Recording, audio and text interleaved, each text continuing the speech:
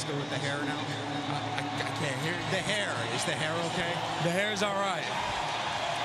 You get the first hit of the game, and then you hit the game-winning home run. How did that feel today, Clint, with the day you had? You know, it, uh, it, it feels good to get feels good to get a win.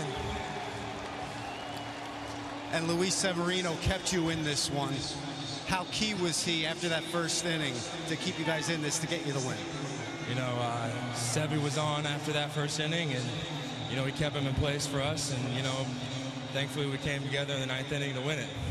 How do you feel, especially with today, your at bats coming along and your time here with the Yankees? I feel like they're they're getting better every time I step in the box, and it's good to see results.